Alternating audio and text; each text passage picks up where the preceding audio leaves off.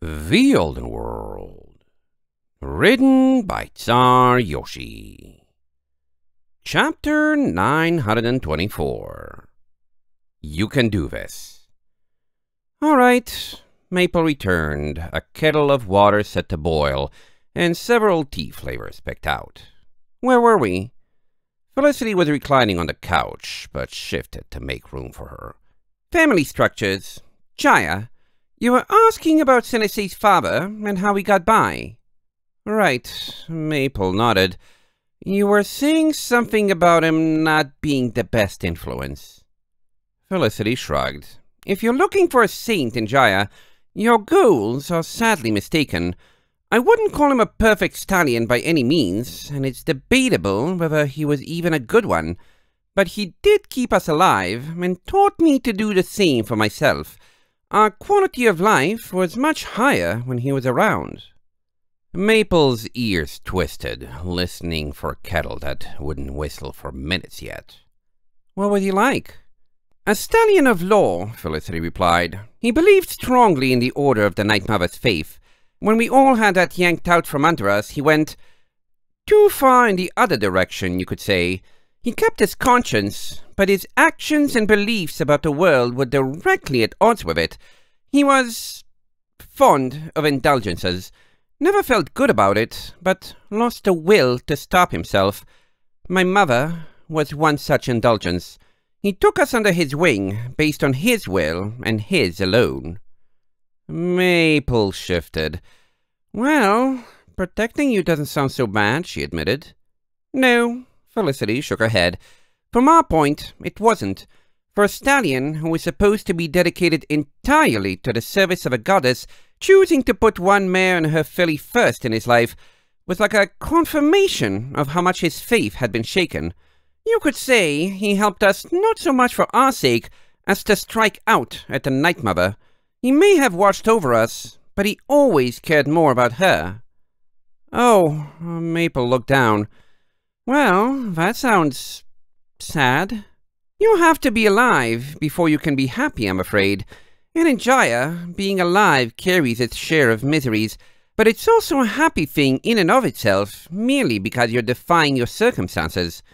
So, in a roundabout way, he did make us happy. Felicity shrugged. Anyway, I also suspect his union with my mother had some motivation relating to the Night Mother or his faith as well, but I don't know quite enough about the situation to say for sure. Or perhaps they were both just getting what they could out of their relationship. Either way, we survived. But then something happened to him, Maple continued. And what about Larceny? Felicity sighed. Something always just happens to you in Jaya, darling. He just didn't come back one day. And that's about how it goes. As for Larceny, occupational hazard of our mother's new way of making ends meet. I took it upon myself to get us out of there pretty soon after that. Maple grimaced. That's not a pretty thought. You keep being surprised, Felicity sighed.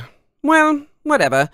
After that, we found ourselves in Isvaldi, and you know the rest.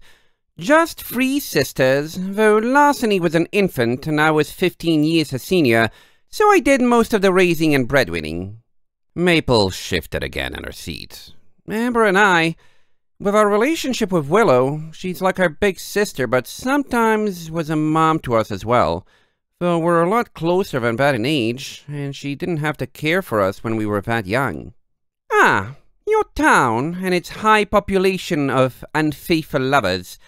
Felicity flicked her tail. I'm honestly curious, was that really normal?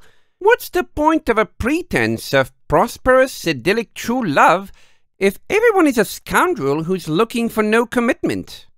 It's a long story. Maple looked down. My home, Riverfall, and the nearby city of Ironridge grew up side by side. Ironridge was inland and only reachable by boat up a river. Riverfall was built around the river's one waterfall, where sailors needed to stop and portage boats. All the sailors from Ironridge were stallions, and Riverfall was a city of mares. Bold, mysterious, worldly and traveled, sheltered backwater, peaceful, rustic.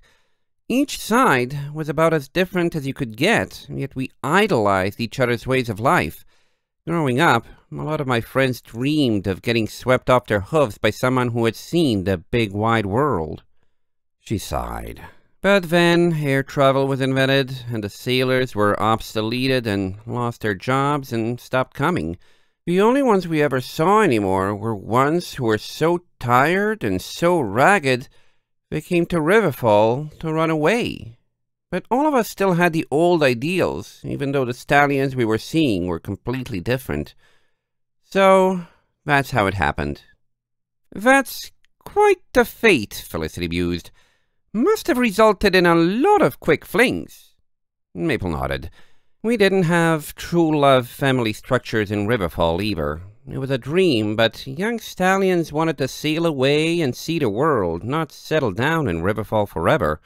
All the mares who got it were the ones who went too. There weren't ones who got stallions to stay, and all the colts, once they were old enough, they ran off to Ironridge to go to the outside world. So a lot of mares who were left worked together to raise their children in pools, making things more manageable.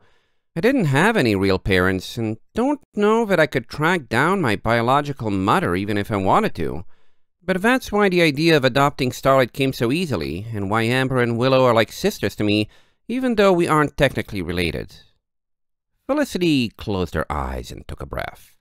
Sounds like a more idyllic version of In the kitchen, the kettle whistled. Hold that thought, Maple apologized, getting up to fetch the water.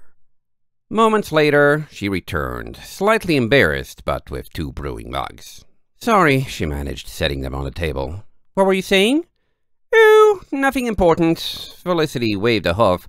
I was going to say, it sounds like the loose clan structure of most villages in Jaya, only with a good deal less necessity to the process. We didn't really need to do anything in Riverfall. Maple stared at her tea. It was so peaceful there, we had all our needs met by a stallion called Airby, who kept the town working by pulling strings behind the scenes. But the world around us was changing, and Riverfall was going to have to change too, sooner or later. Felicity mirrored the gesture, blinking down at the reflection in the liquid surface. Honestly, it sounds like a place I wouldn't mind living myself, from what you've said. You turned out all right. Perhaps my foal could too, even though I'm not confident in raising them myself, thanks to your little raising system. Maple glanced across at her. So you do want what's best for them? Felicity nodded, staring at her belly. Oh, I'm not malicious, darling. This child is inconvenient and unnecessary, and starting to get uncomfortable now that they're growing, and I have no idea what to do with them, or about them. But when all other things are equal, I really wouldn't mind them having the best life they can have. Felicity, Maple's face shadowed. I don't want to get my hopes up for them. Then try doing what I do, Felicity shrugged, and think of them as an unsightly curve that gets in the way instead of a... That is the opposite of helping, Maple burst out, panting. You can't... You don't need... Felicity's tone softened. Still having trouble caring? Maple trembled and squeezed her eyes closed. Your buttons are easy to push, darling, Felicity whispered. And denial doesn't suit you. Denial of what? Maple squeaked, eyes still scrunched. Why are you doing this? Darling, Felicity adjusted herself again on the couch, leaning over its back so that she was fully facing Maple. I'm aware that I have some unsightly feelings sometimes, and I've made a vow to myself not to hide them. Yes, it's true that I selfishly fear the myriad consequences of being with Foal will interfere with my coping mechanisms. But if those fears are ugly on me, they're blatantly ridiculous on you. You say you don't care, and I'd be badly remiss as a friend if I didn't try to pull your head out of the sand and show you how much you want to care. Maple shivered. That's ridiculous. I'm afraid of this for completely different... I'm aware my argument has logical fallacies, Felicity admitted, no give to her voice. No, you're not remotely avoiding caring for the same reasons I am, but I'm making you think, and that's my primary goal. Why? Maple whispered, still holding her eyes closed. Because if I'm going to stay with you and this is an issue for you, you're going to have to deal with it sooner or later, Felicity insisted. And both of us have everything to gain if you can get over yourself sooner rather than later. Suppose my foal does die. Are you going to take it better on your hooves with your head held high and nothing to hide behind? Or is your flimsy protection somehow going to hold up when you see me not entirely bothered by my loss? Would that bother you? It had better bother you, because I'm bothered by it already. Maple sniffled. On the other hoof, Felicity's voice softened, in the event that my foal does make it, which is a two and three chance and very much something to be prepared for, I'm aware I'm in no state of mind or body to raise them. And as this is something you care so much about, at the very least you might be able to brighten their future, if not help me learn to manage this myself. Selfish, perhaps, but that's all right when things are mutually beneficial. So there. You don't beat around the bush, do you? Maple grumbled, wiping a few tears from her eyes. Felicity shook her head. Sorry, darling, but problems that can be fixed are problems for fixing, and where I'm from, fixing your problems rather than pretending to live with them is a decent method of survival. You realize you're not fixing anything, Maple sighed, staring at Felicity's belly. You're right, I do care, and I can't lie to myself about that. But do you think that's going to make it hurt any less if they don't make it? Would you want it to hurt less? Felicity countered. What kind of question is that? Well, Felicity took a breath. It doesn't seem like something a very good pony would do, feeling nothing about the death of someone who could have been close to them. Yes, I'm aware it doesn't feel good, but the root cause of that is whether this foal lives or dies, not how prepared you are for it. Guard yourself all you want. It won't change their fate, or whether they deserve to be mourned. Maple sniffled again, slumping on the couch until her head was closer. But there's nothing I can do to change that. Nothing I can do to keep them alive. Nothing you can do to help them survive, Felicity continued. No, I suppose there isn't. But that's just life, I suppose. Oftentimes, there's nothing you can do to help your other loved ones survive. The day my mother died is burned like a fire into my memory, darling, and I don't think I'll ever forget that last conversation I had with my sisters. And now, here I am, having conflicting feelings about the last biological member of my family left.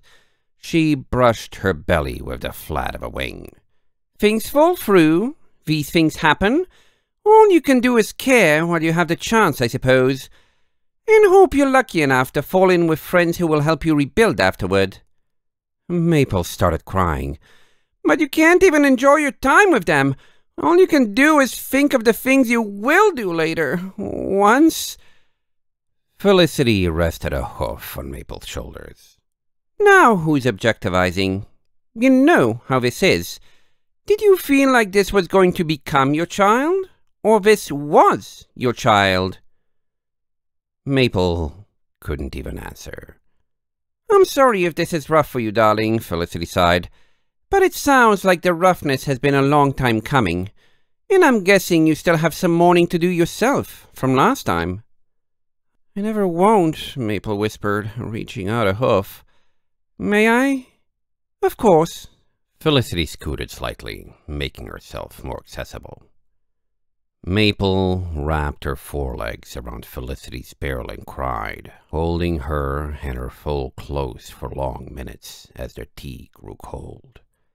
Felicity took several sips, lifting her mug with a wing, and eventually brushed Maple's bangs with a wingtip, tenderly fixing a snarl.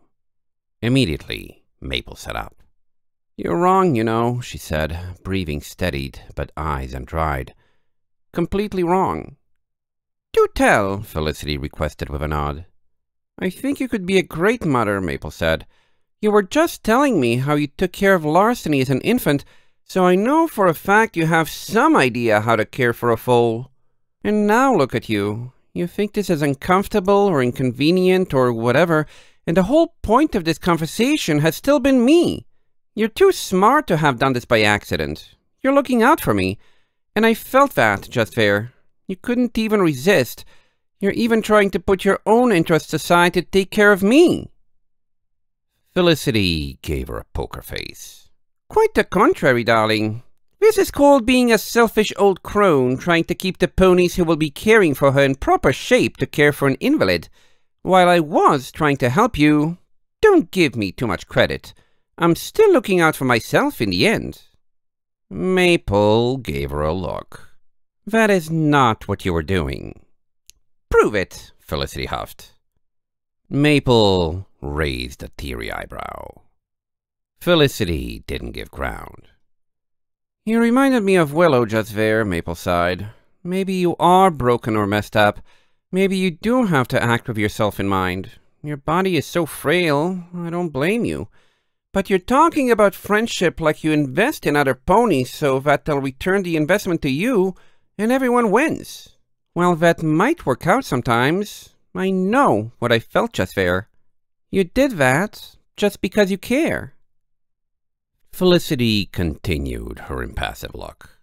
I know this, okay? Maple looked away. I don't know whether you're pretending to me or pretending to yourself, but I can tell. Maybe you want me to think you're less altruistic than you are, so I don't have high expectations, or maybe you remember the things you've done and don't want to get your hopes up about yourself and start thinking of yourself better than you deserve, but you can do this. You'll make a fine mother. You can do this, and I, I'll help you see it through. There we are. Felicity's composure finally broke, and she sighed in relief. I knew you had it in you too, darling. As for me, I'm complicated and really don't care to spend time labeling myself when I know I'm likely going to be wrong. Call it what you will, but I think there's hope for you too. Thanks. Maple closed her eyes again. Felicity yawned. Well, that was productive. I don't suppose you'd like to... No. Maple curled back up on the couch, her head against Felicity's belly again. Whatever it is, I need a minute. I've had good days and bad days before, and knowing my past, I'm going to go right back to having problems again tomorrow. But while you've got my hopes up, right now, I need a minute. Thank you. End of chapter 924.